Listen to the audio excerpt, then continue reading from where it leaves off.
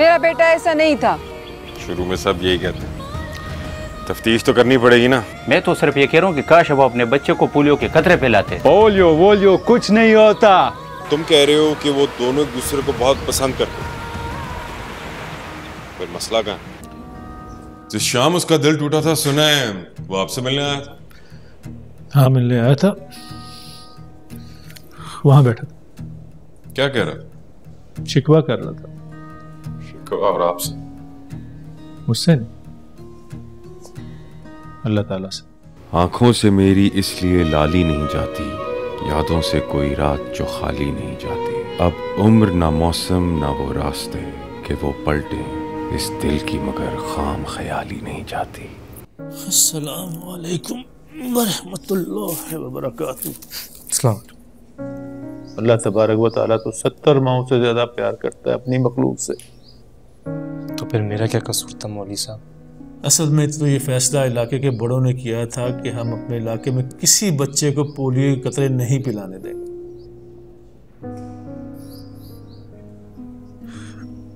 वो इसे साजिश समझते हैं। इसलिए कहते हैं हम इसे कामयाब नहीं होने देंगे। आपने भी नहीं समझाया? मैंने समझाया बेटा बहुत कोशिश की। मगर उन्होंने मेरी एक नहीं सुनी और अपना फैसला सुना दिया।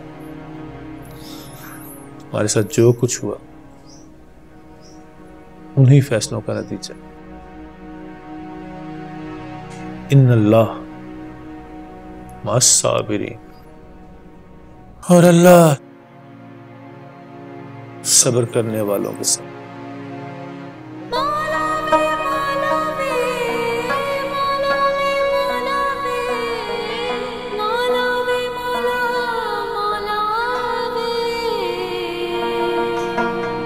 इसका मतलब है कि उसने गाँव के बड़ों को अपनी हालत का जिम्मेदार मान लिया था।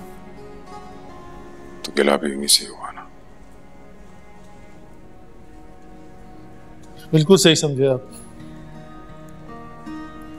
पिछले दिनों फिर से खबर आई है कि हमारे इलाके में फिर से पोलियो वायरस का खतरा मौजूद है। तो फिर क्या हुआ? वही सारे बड़े सर जोड़ कर बैठ गए। उस वक्त इस जिरगे में जरकुल भी आता। हाँ जी मैंने इसके बारे में बहुत पढ़ा है और बहुत से वीडियोस देखे हैं। ये सब साजिश है गरगुल मेरे बच्चे ये सब साजिश है। मुझे पता है वो लोग पोलियो के बहाने इस गाँव में आकर बड़ी खराबी पैदा करना चाहते हैं। खराबी? खराबी और बर्बादी तो जब होगी जब बच्चे पोलियो कतरे नहीं पिएँगे बड़ों से बहस और बदतमीजी नहीं करते जरगुल तुम अभी ना तजर्बेकार हो। जो मर्ज़ी पढ़ लो। लेकिन तुम्हें नहीं पता कि दुनिया कैसी कैसी साजिशें करती है। हमारी उम्र को पहुंचोगे ना तब समझ आएगी कि बुज़ुर्गों के किए हुए फैसलों में हमेशा भलाई होती है। मैं सिर्फ़ इतना चाहता हूँ कि आप लोग उनको इस गाँव में आने दें। हरगिज नहीं। हम उन पोलियो वालों को उस वक्त तक इस गाँव में आने की इजाज़त नहीं देंगे जब तक वो हमारी डिमांड्स पूरी नहीं करते।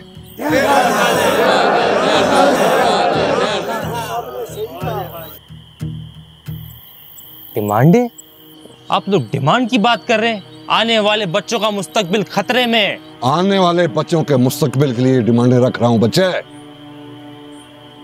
कहा ना जितनी तुम्हारी उम्र नहीं है उससे ज़्यादा हम लोग फैसले कर चुके हैं। फैसले? मैं हूँ नतीजा आप लोग के फैसले का। तुम तो बहुत बदनसीब हो। हमारे फैसलों का नतीजा नहीं हो।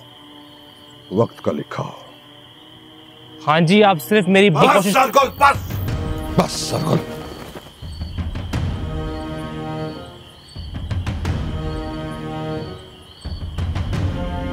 बच्चे फैसले जज्बात से नहीं, बल्कि अकल से किए जाते हैं। और अगर बर वक्त उस फैसले ना किए जाएँ तो मुसीबतें अपने कदम जमा लेती हैं। जिरगा, बर्खास्त किया जाता है। खुजा के जबर तो सीने पे रोक लेते हैं। हमें उदास पहाड़ों से खौफ मिले हैं दोस्तों बेसाखियों से गम इतने। मेरे बदन को सहारों से खौफ आता है।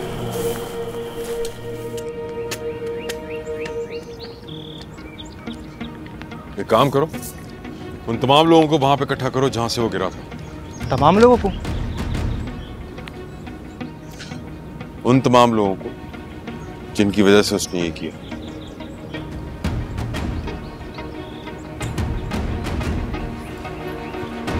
आप लोग ये तो समझ गए होंगे कि आज आप सब लोगों को यहाँ पर क्यों इकट्ठा किया गया।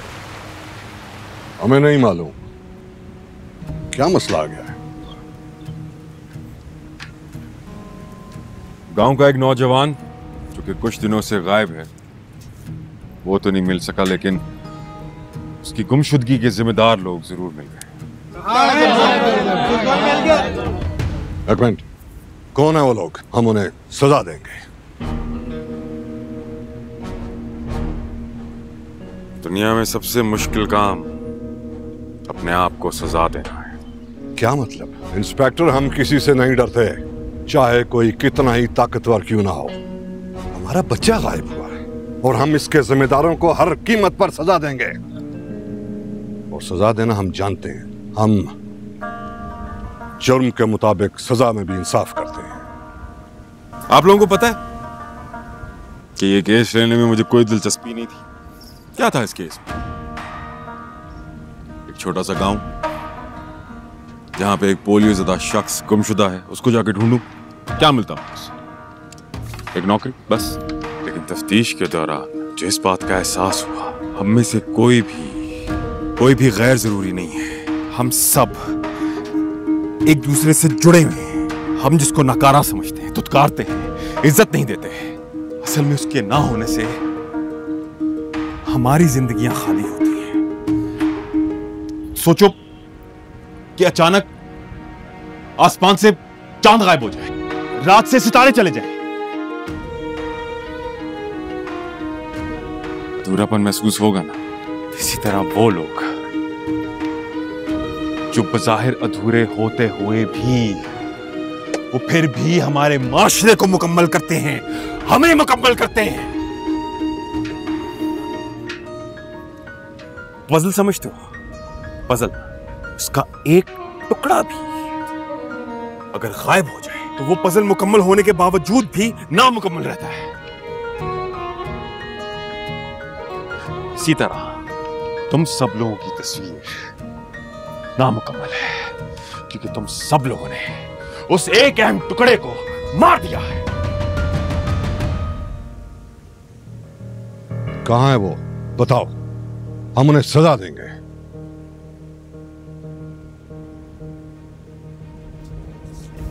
तुम हो। तुम हो। तुम हो। तुमने मारा है। तुम सब लोगों ने मारा है। इंस्पेक्टर ये तुम क्या कह रहे हो? जहालत। तुम लोगों के फैसलों ने। तुम लोग यना ने इंस्पेक्टर ये तुम क्या कह रहे हो? वो बच्चा हमारा खून था हमारे इलाके का था। हम कैसे मार सकते हैं उसको? जहालत कम अकली को खा जाती है। अना मोहब्बत को और कम इल्मी दलील को खा जाती है। इस गाँव ने तो उसे मोहब्बत करने का भी हक नहीं दिया। बात बताओ।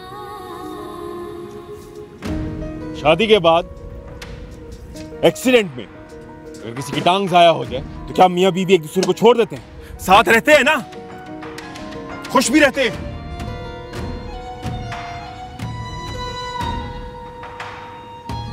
जाहिरी खद्दो खाल देखने वाले लोगों को कभी भी सच्चा इश्क नहीं मिला।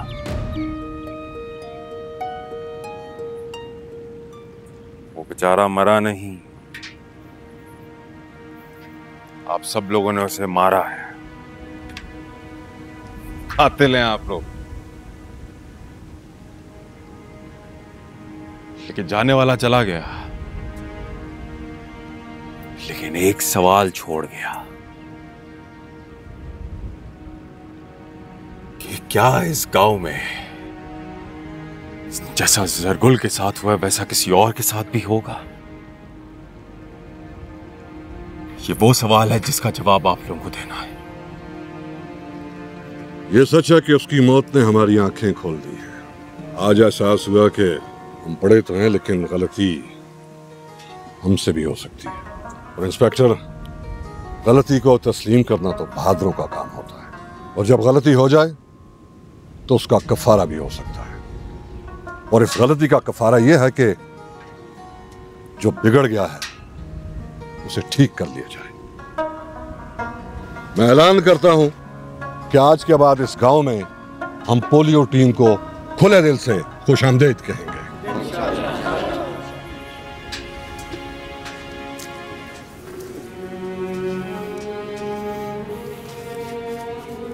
थैंक यू इंस्पेक्टर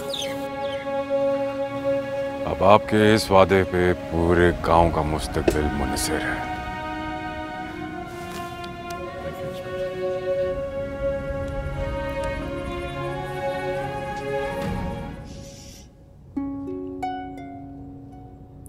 अगर आपकी इजाज़त हो तो क्या मैं ये डायरी रख सकता हूँ? बेटा तो मैंने खो दिया है। मैं तो अनपढ़ हूँ। मैंने इस किताब का क्या करूँ? हाँ वो एक और किताब भी बहुत शौक से पढ़ता था। शायद तुम्हारे काम आ जाए। सफी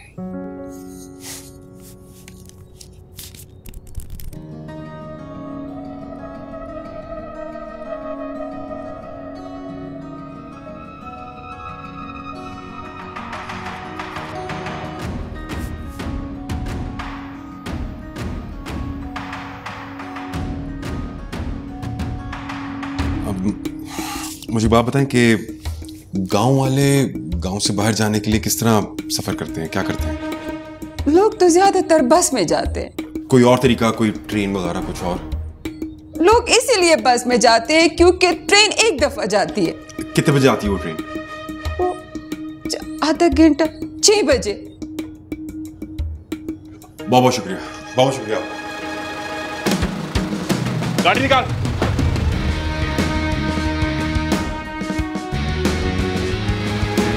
जल्दी हो जल्दी हो।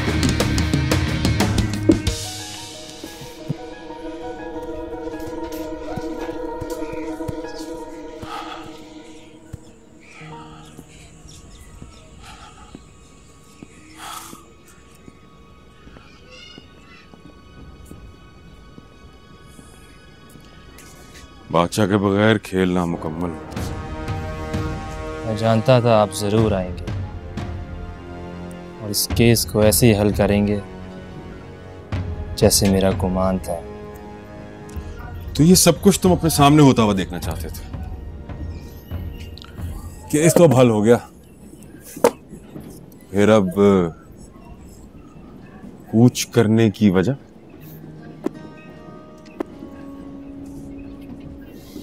उम्मीद दोहरी उम्मीद। उम्मीद?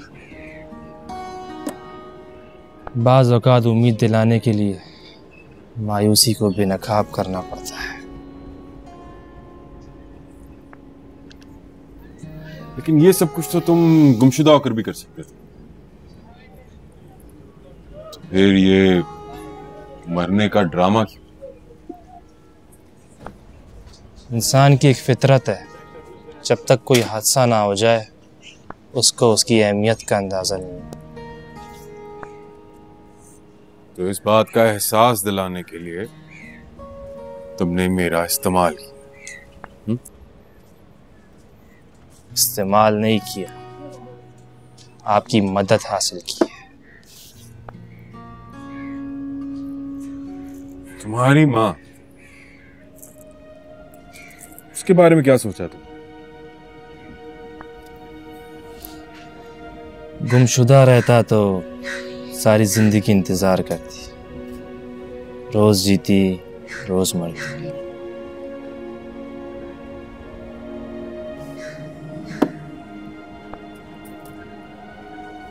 कभी कभी जीने के लिए उम्मीद का टूटना भी बहुत ज़रूरी होता है। वाह। अच्छा। बहुत अच्छा। तुम्हारी माँ तुम्हारे बगैर जिएगी कैसे? ये कभी सोचा चेक जब चाहूँगा जिससे चाहूँगा आकर मिल लूँगा। और गाँव वाले?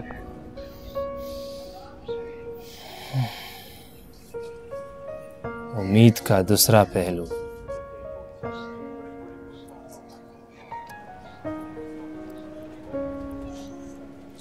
हम्म। तुमने मर के अपने आने वाली नस्लों को उम्मीद दी कि आज के बाद तुम्हारे गाँव में कोई भी पोलियो से मुतासिर बच्चा पैदा नहीं और उसमें तुम जीत गए।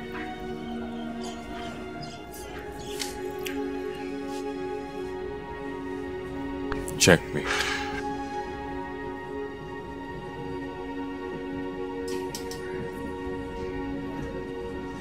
आप इतने जहीन नहीं होते तो कभी आपसे मदद हासिल नहीं करता।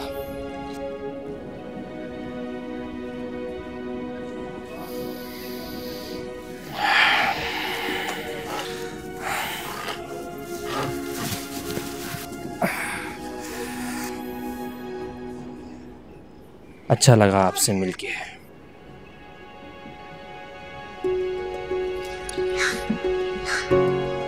मुझे तुम पे फख्र है।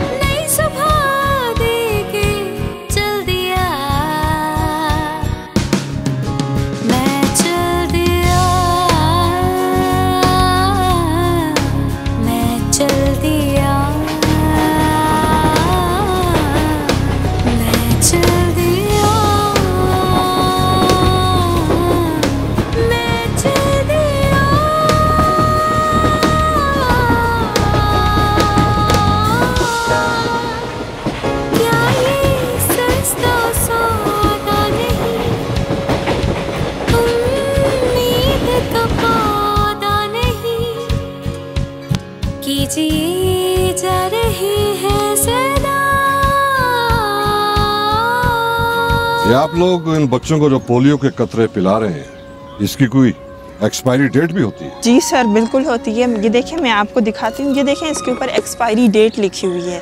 और मैं आपको ये भी बताती चलूँ कि ये वैक्सीन दुनिया की सबसे मरूफ और मुस्तनद फार्मा कंपनी जो है वो इसको तैयार करती है। और जितने भी हमारे इस्लामी ममालिक हैं जैसे कि सऊदी अरब हो गया तुर्की मिसर ये वैक्सीन वहाँ पर भी पिलाई जाती है।